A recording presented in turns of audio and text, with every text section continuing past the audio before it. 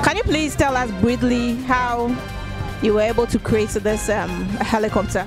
Okay, if you allow me to put it this way, I'll say the helicopter, even though it has been an ambition to be an aviator since childhood, but I would say I abandoned the whole idea. So I would say it's the brainchild of brother my wife who convinced me this time around to come with this plane that you are seeing, aircraft that you are seeing.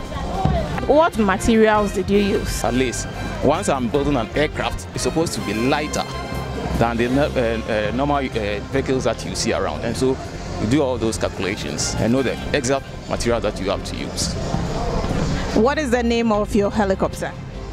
It is a Wima. I conned it out of three female nymphs. When I got to know about the flight principles, I shouted Erica. And so in 1993, my mother uh, funded the first experiment. And so she is also Wiredua. My mother is Wiredua. And after going round, round, round, round, round without any help, I was told, uh, told point blank that I have to abandon it. When I got my, uh, married to my wife, she convinced me.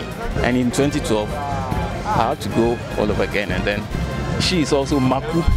So you come, uh, that, that, how, that's how come the And the 005 that you see is the fifth series. Ghana, we can do it. The youth. Everything in aviation is possible. This is Mr. Jake Antwi and his wife. The wife being the inspiration. This is the fifth series of what he has tried to do with help from wherever that he can get. He will be able to do a real helicopter. This is what we need. This is an inspiration.